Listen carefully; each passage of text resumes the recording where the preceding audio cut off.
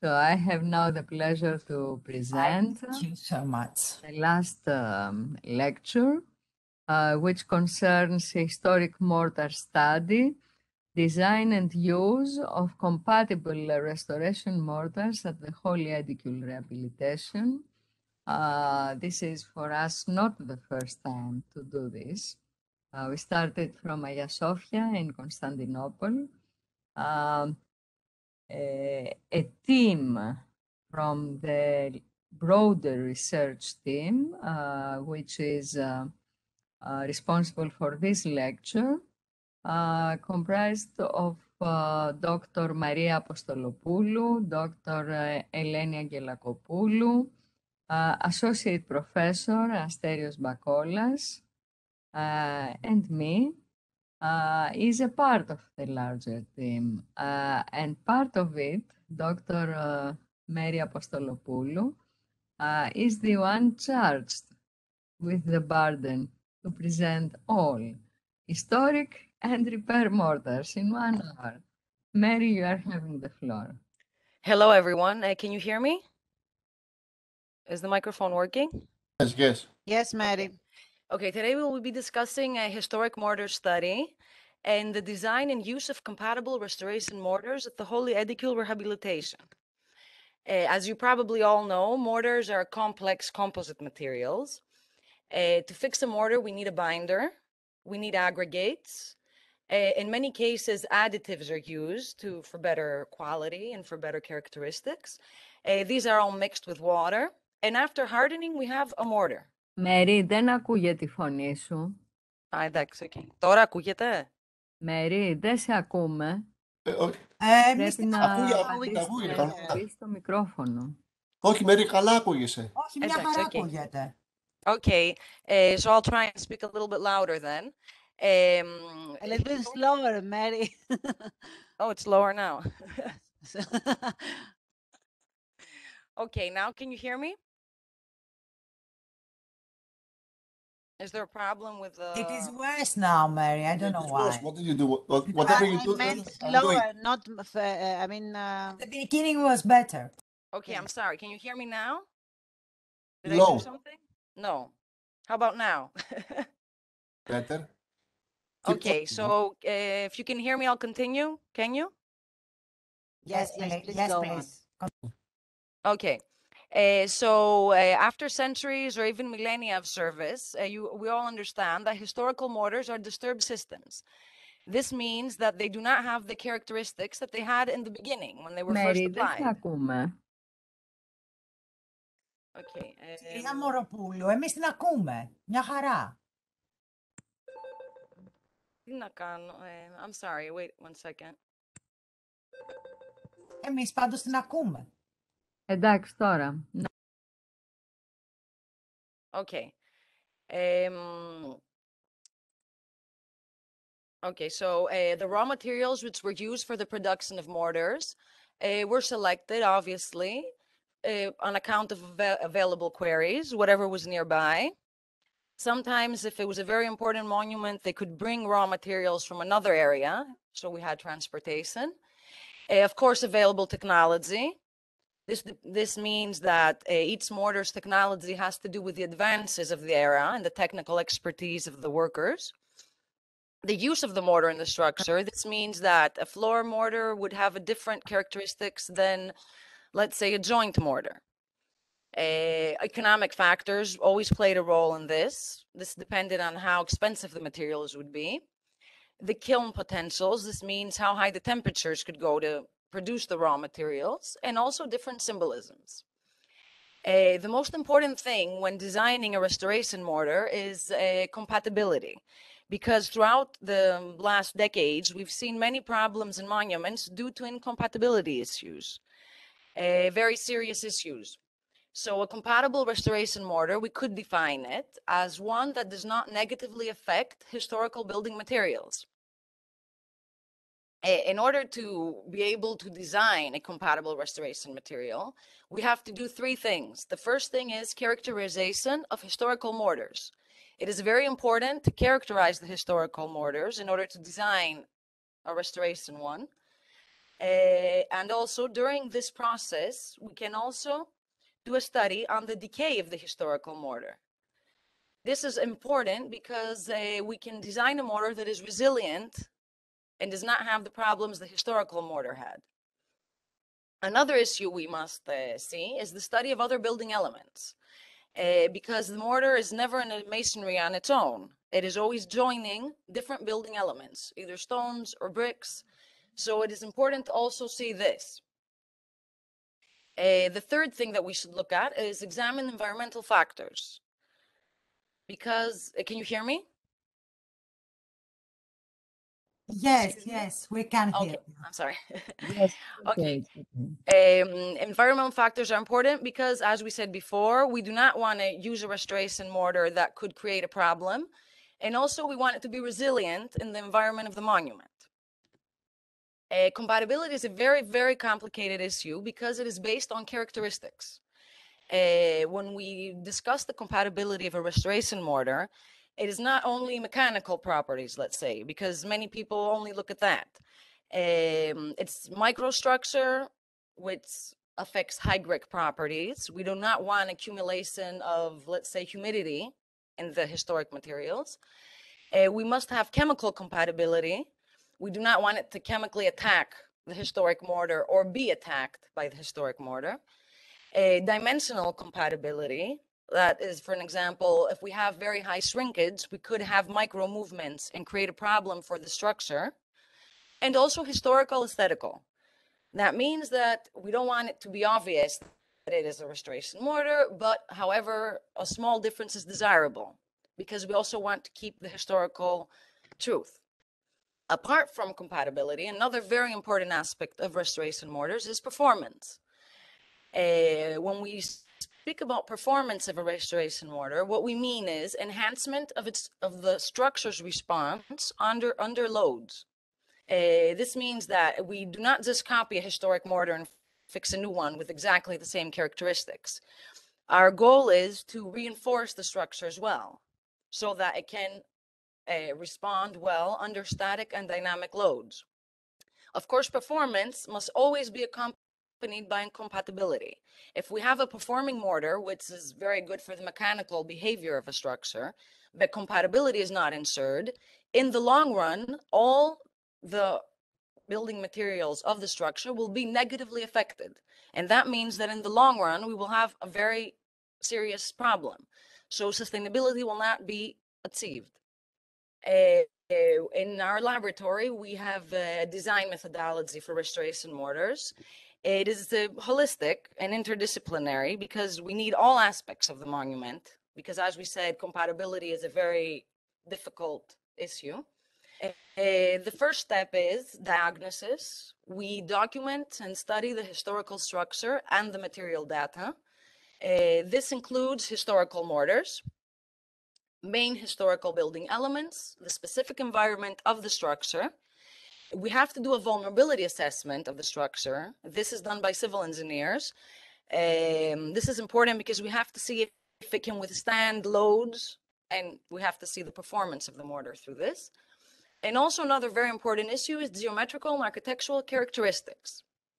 All these stages can give us some criteria which the restoration mortars must comply with in order to be compatible and performing. Um, of course, this is not something new. This is something that's been studied for decades. So luckily, we have many tools and methodologies at our disposal. Uh, in this, in the diagnosis stage, we have um, a methodology for the characterization of historical mortars and the diagnosis of their decay. This means that we know which um, measurements should be conducted, and different measurements can give us different characteristics regarding the historic mortar. Um, mineralogical composition, microstructural characteristics, mechanical strength. This is very important because this analysis can give us an indication on the production technology and the raw materials used for the production of the historic mortars. And um, the physical, chemical, and mechanical characteristics of the historical mortars are the basis for the design of compatible and performing restoration mortars. Therefore, the historical mortar is the basis, of course, of any design methodology. A historic mortars characterization is also a very complicated issue. It's like a puzzle. Uh, we do many different measurements, and each technique gives us a different aspect of the historical mortar. All these aspects together, like a puzzle, when put together, can define a historic mortar. Uh, also, um, a lot of study has been conducted, especially from our laboratory at NTUA, and this has given us uh, the, the opportunity to be able to categorize historical mortars according to their characteristics.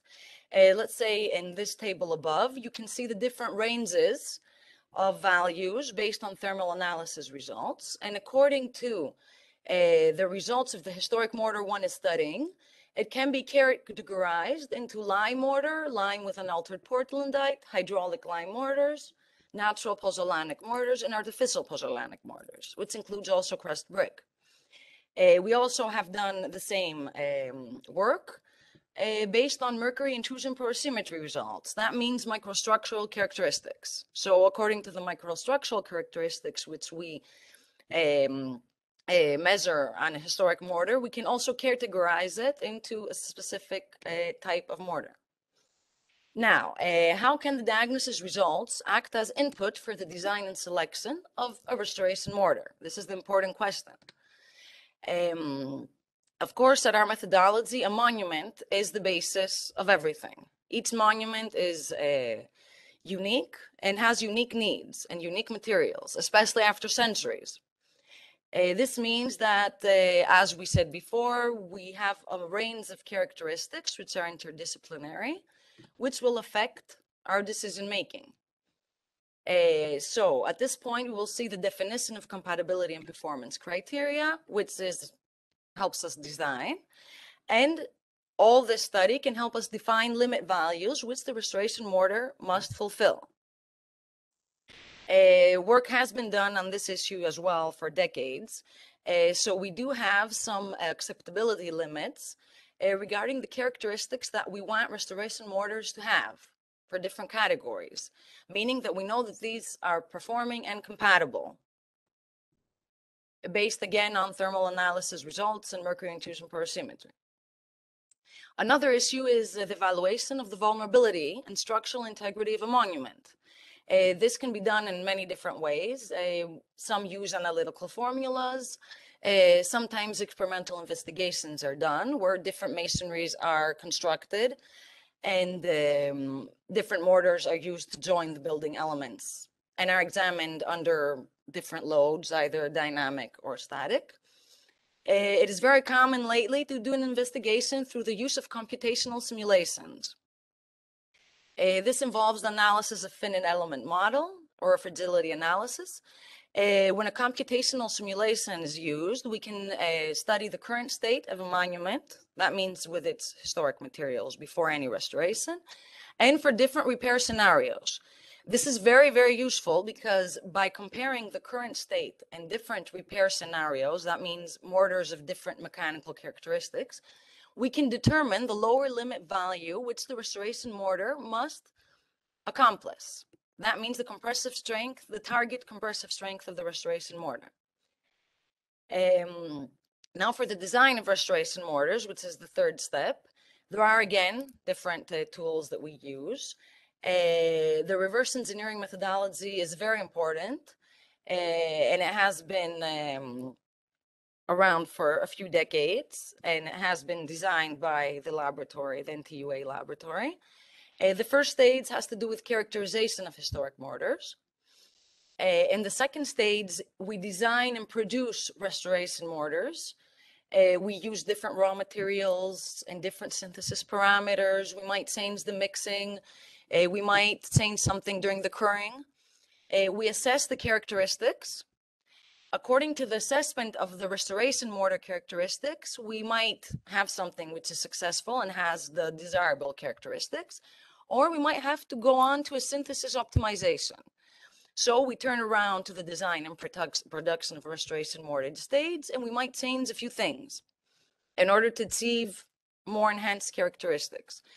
And in the end, the last step of the reverse engineering methodology is a pilot application and assessment on the monument. Uh, restoration mortars are assessed in fresh state.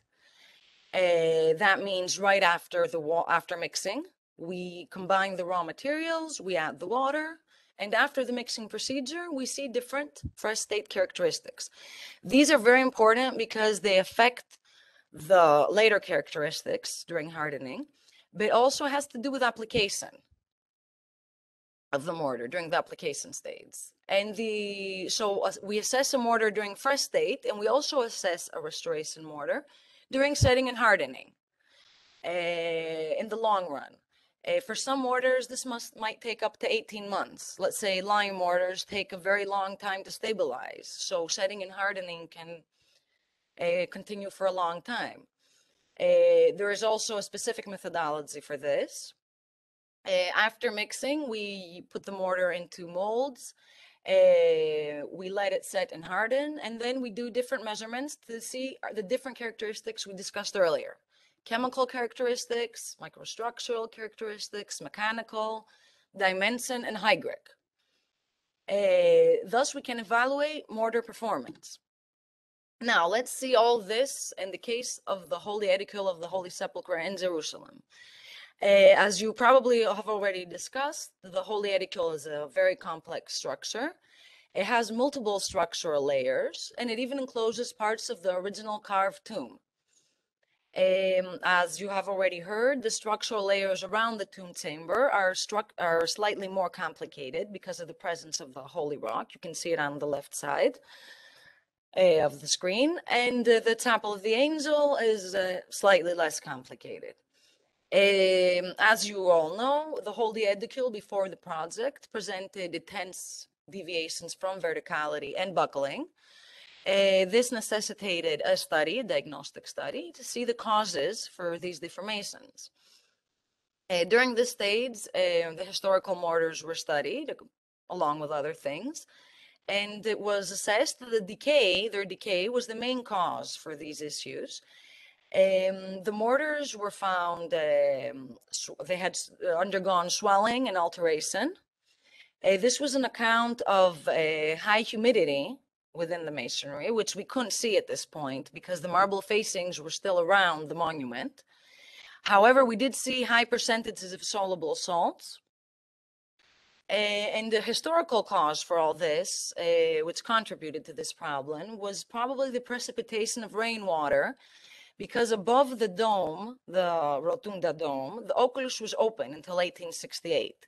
So this means that water, when it rained, precipitated onto the Holy Aedicule. At the same time, uh, we had an indication that humidity rose from the underground environment. Of course, this during the project was uh, validated, that it was true. Another issue which was um, aggravating this situation of the mortars behind the marble facings was breathability issues. So water was able to uh, enter the masonry, but it could not leave the masonry because the marble facings had been joined by lead sealing. Between the marble facing members, you can see here in this uh, area, the lead sealing. This did not allow breathability. Uh, so we underwent uh, characterization of historical mortars. Uh, during the study, we only had a few samples. However, during the project, uh, we were able to select more samples, especially from areas which were um, replaced.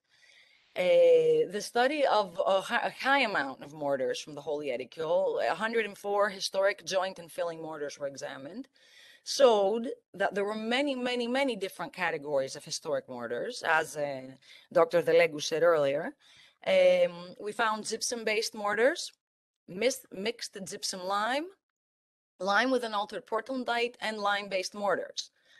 Um, now, the whole point is that uh, this, of course, was in a way expected because the Holy Aedicule has a very long history of 1,700 years of being destroyed and reconstructed.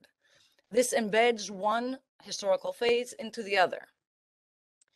Uh, we underwent a study in order to classify the lime-based mortars. Of course, we knew they were lime-based, but we wanted to see their production technology.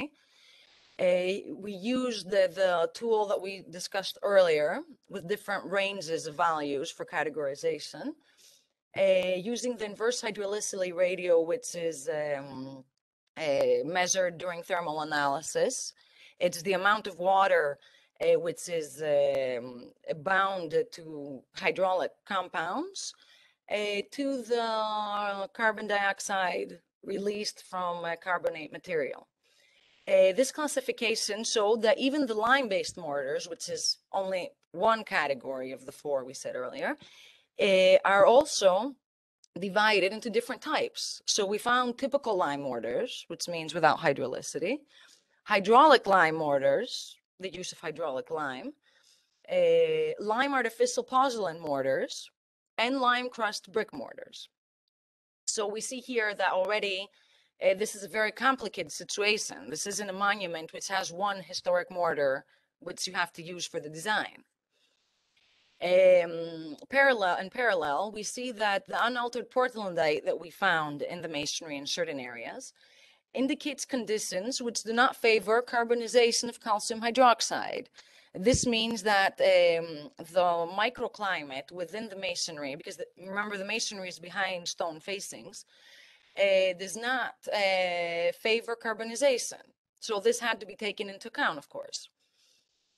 So in conclusion, the holy mortars presented intense differentiations regarding their physical chemical characteristics and were classified into many categories.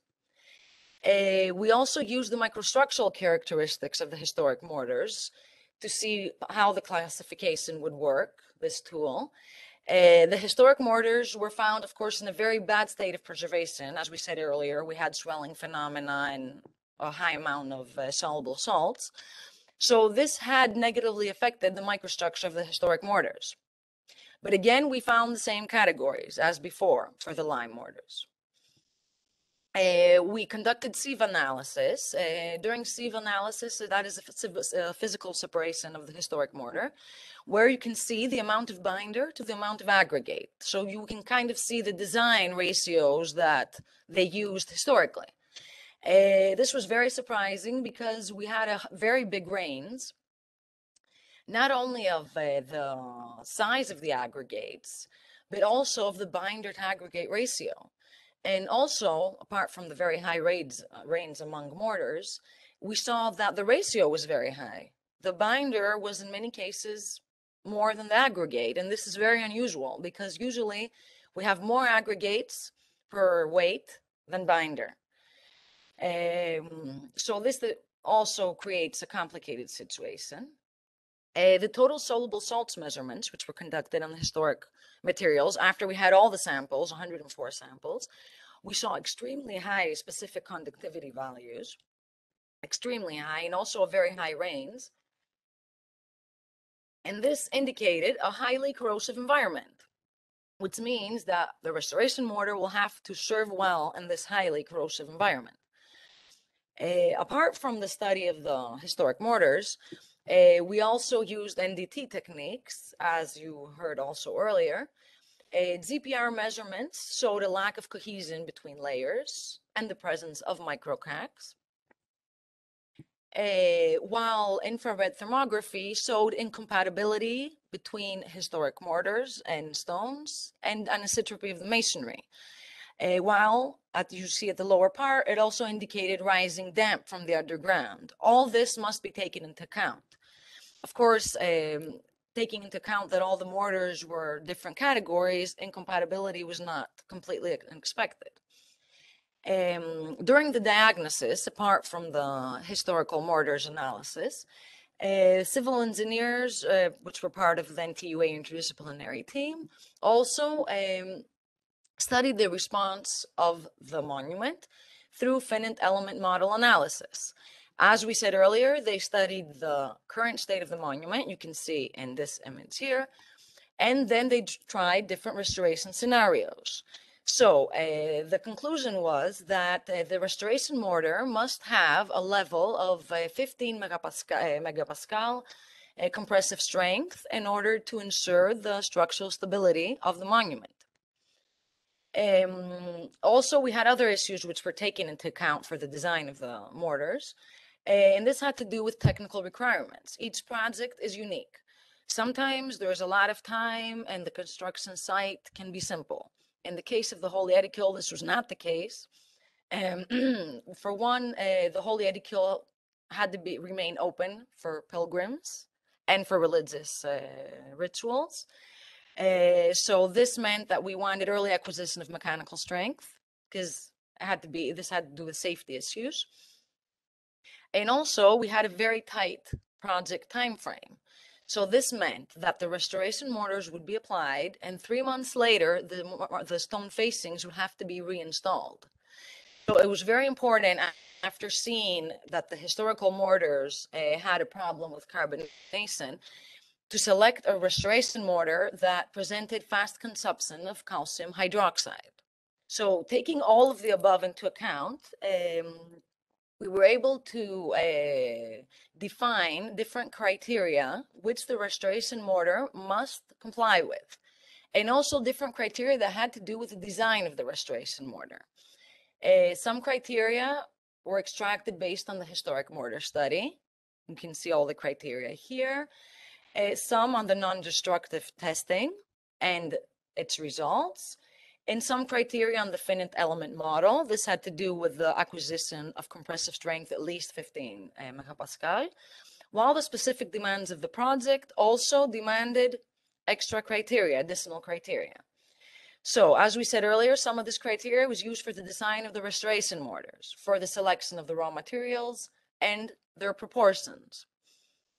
Uh, the study indicated that most of the historical mortars were artificial pozzolan lime mortars. So it was decided to put special emphasis on the study of lime artificial pozzolan uh, mortars. This means um, brick dust or metakaolin.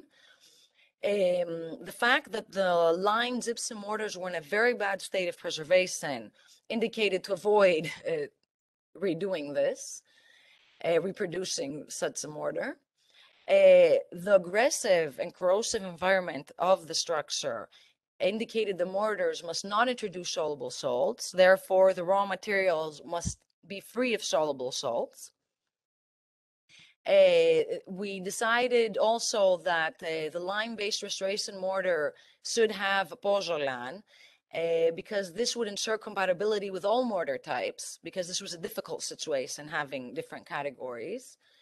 Uh, the use of silicious sand was also considered a necessity because silicious sand shows higher resilience in corrosive environments historically. Uh, while the geometry of the structure indicated the use of sand for joint mortars, uh, either 0 to millimeters or 0 to 4 millimeters. So it had a restriction on the size of the sand, the geometry of the joints. Apart from the selection of raw materials, the previous diagnostic study also uh, helped us in the selection of the raw materials proportions. Uh, it was very important to ensure fast consumption of uh, calcium hydroxide. This we wanted for two reasons. To avoid sulfation phenomena because we have gypsum in the structure, but also to achieve early stabilization because as we said, it was important for things to happen fast. Um, we wanted a mortar which presents adequate hydraulicity because, as we said, we're dealing with a monument in high humidity environment. Uh, and we also want high mechanical strength. It was decided to optimize the binder to aggregate ratio because putting in more binder than aggregate in the historical mortars, uh, history showed that it did not work. And that is part of the reason that the historic mortars were so degraded. Uh, and it was also decided that the mortar must have adequate hydraulicity in order to be able to perform in an aggressive environment of high humidity. Uh, so we designed different mortars in order to compare them and see which one has the characteristics that we want based on the above. Uh, we also fixed, um, we also produced two mortars, an aerial lime mortar and the lime putty mortar in order just to have a comparison because we knew that these two would be unacceptable. Um, uh, the rest of the criteria had to do with the assessment of the restoration mortar. So they don't uh, play a role in the design, but they do in the assessment after the production of the mortars and after their setting and hardening. And uh, these different criteria helped us because they defined an area of acceptable values regarding the restoration mortar characteristics.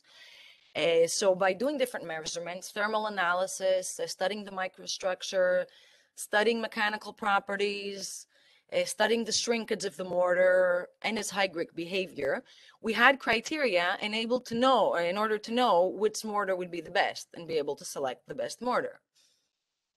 Uh, here we can see the results of uh, thermal analysis above and mercury intrusion porosimetry below. Uh, we used the acceptability limits, which we discussed above in the tools and methodologies that already exist, to see which restoration mortars are have uh, characteristics that are within these acceptable values. Uh, we wanted to also see which mortar has adequate hydraulicity under seven, so only these were acceptable. Um, and then microstructural characteristics, we wanted them to be within the acceptability limits. So some are beyond this, of course. Uh, we studied the consumption of calcium hydroxide. As we said earlier, it is very important for the calcium hydroxide to be consumed early on, uh, as early as possible, in order to avoid sulfation. And also, we want fast carbonation because the stone facings would be reinstalled.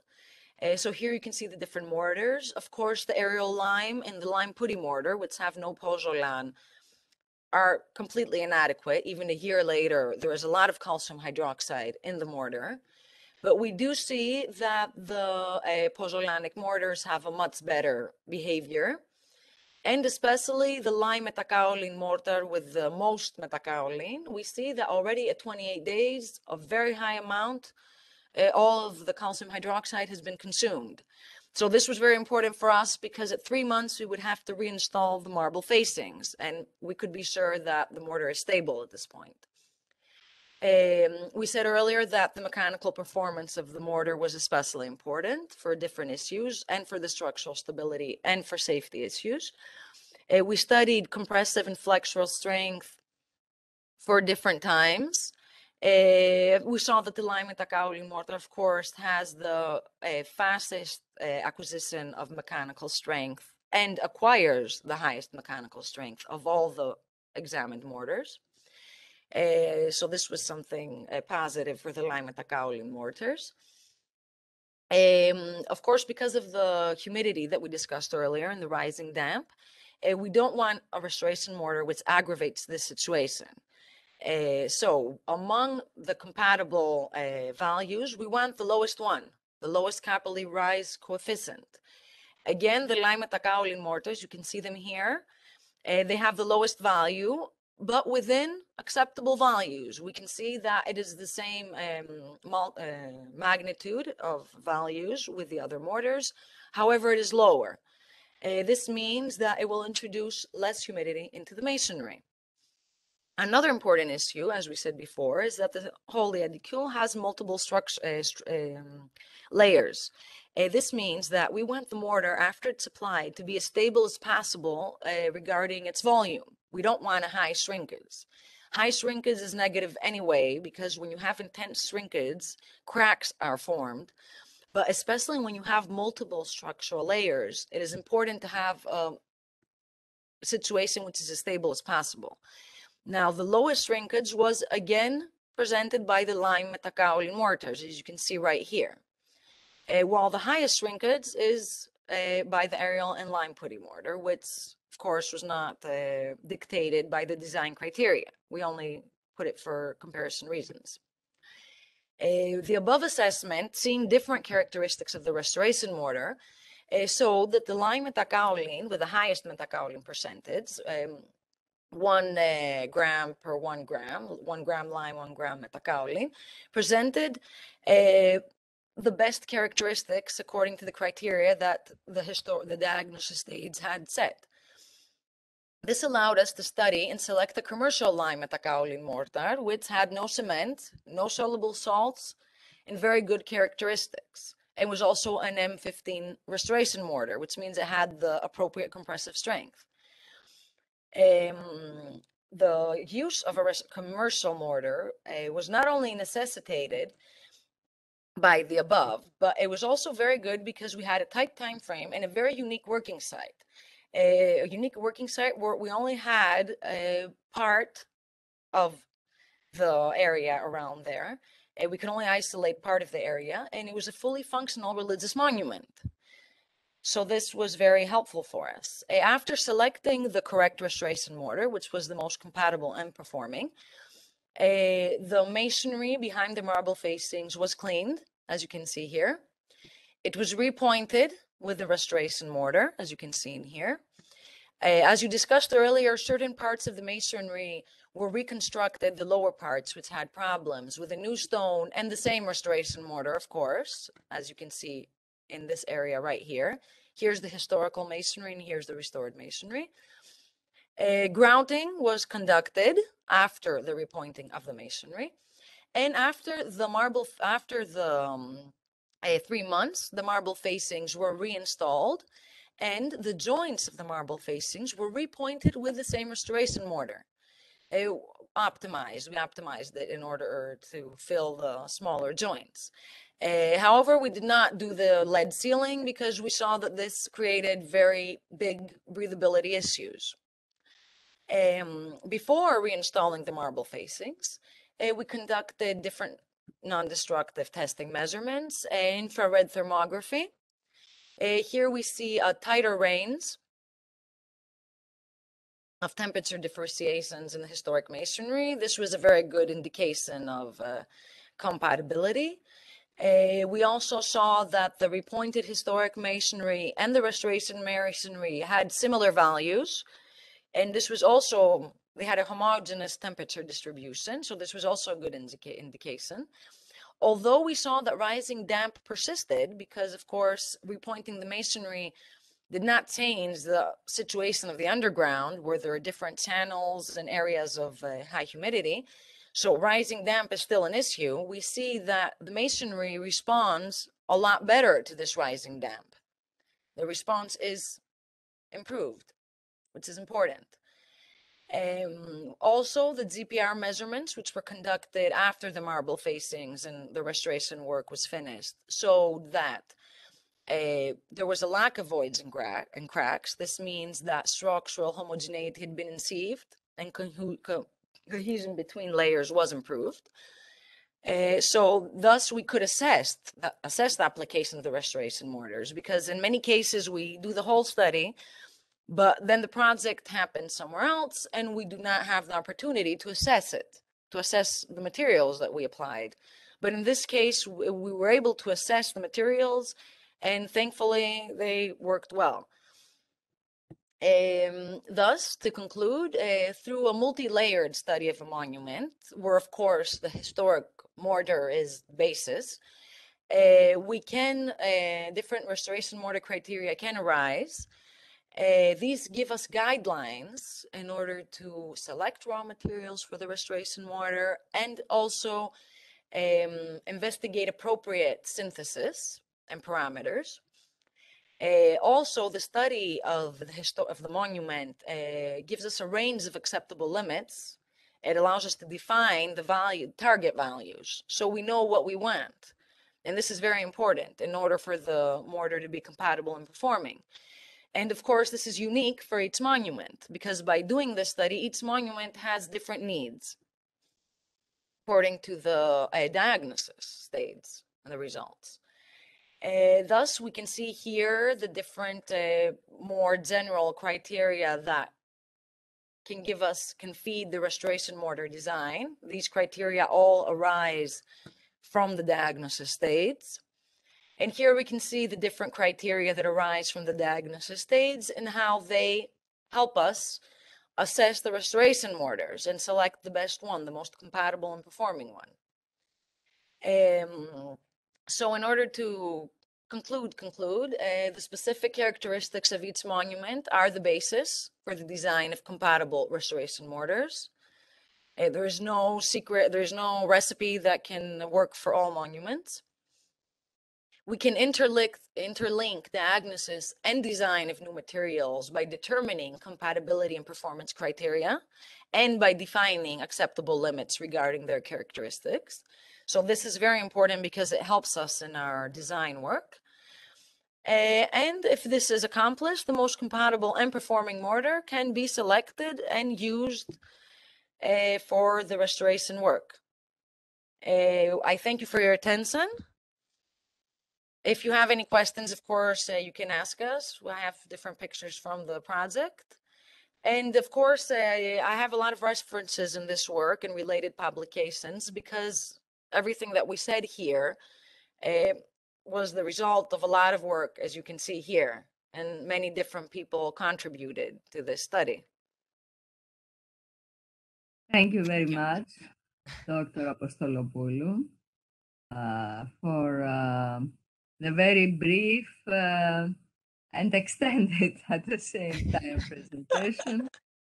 Very good. Uh, are there any questions? We have some time.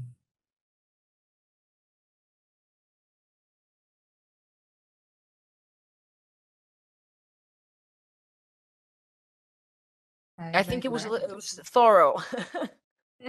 very much enjoy the photos. If there is no question, uh, the today's um uh, seminar uh, uh, has been accomplished. I thank you all who lectured and who attended, and we will see you on Monday, Monday at three o'clock.